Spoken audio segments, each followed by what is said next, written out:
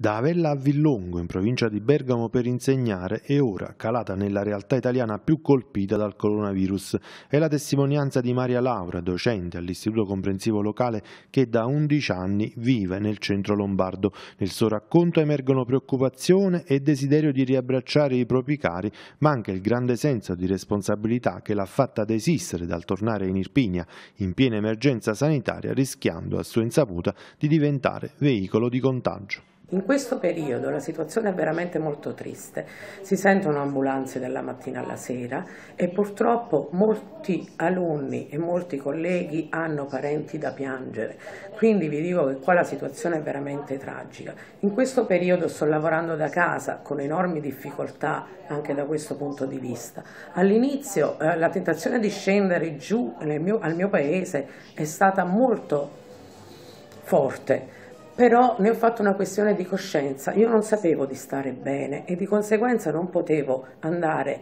ad Avella e creare il panico nel mio paese o portare il virus a mia mamma. Quindi di conseguenza ho deciso di restare qui, seppur sola. Ora l'unica cosa che io spero è che al sud e in tutte le altre città italiane non si ripeta la stessa situazione che si è creata qui a Bergamo, perché vi ripeto, qui è veramente triste. L'unica cosa che spero è che tutto questo finisca presto e che io possa ritornare anche brevemente in Campania per vedere i miei cari posti e per apprezzare i miei cari e soprattutto non vedo l'ora di tornare a scuola dai miei cari ragazzi che in questo momento bacio e abbraccio. Ciao a tutti.